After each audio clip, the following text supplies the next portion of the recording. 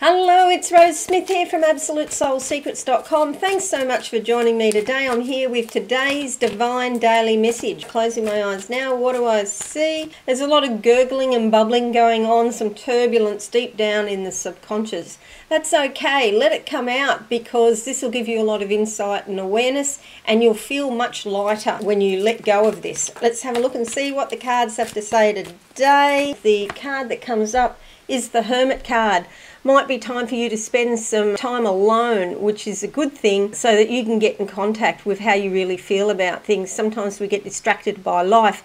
There's a wolf dog there, so what you learn could be invaluable and you could end up helping other people uh, through your experiences. You'll see there they're both standing on a mountaintop as you do, which suggests a challenge. But this is a great card, a major arcana, so it's fairly important. Have a great day. Thanks and bye for now.